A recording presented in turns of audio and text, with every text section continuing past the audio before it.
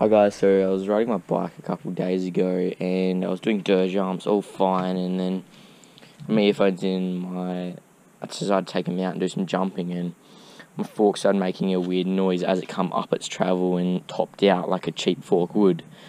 And this fork never did it, had never problems with it, but it just started doing it as it brings out. I'll show you it in a minute, but it was just, it's all fine and everything, it's just I'm gonna take it back to the local bike shop and get RockShox to do warranty on it and possibly upgrade my fork so I know I don't have the same model and same fork and I have confidence that it won't break. See, I'll grab my bike and I'll show you what I mean. This is the noise that it makes.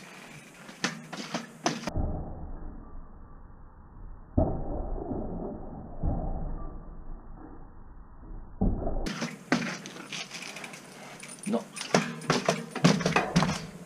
like the top out bumper is just completely blown off like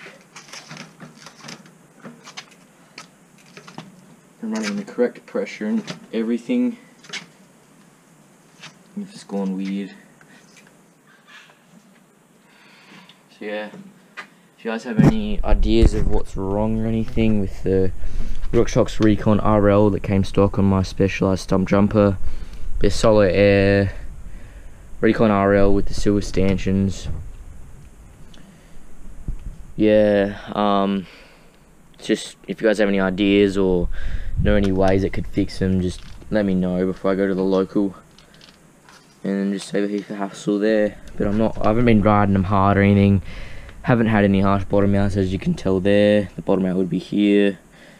And yeah, it's fine. So yeah guys, I'll see you in the next video please comment down below what you think's wrong with them or yeah as such. Yeah i'm not too sure. Like they're fine they're got them for christmas and yeah i don't i have no clue. So yeah see you in the next video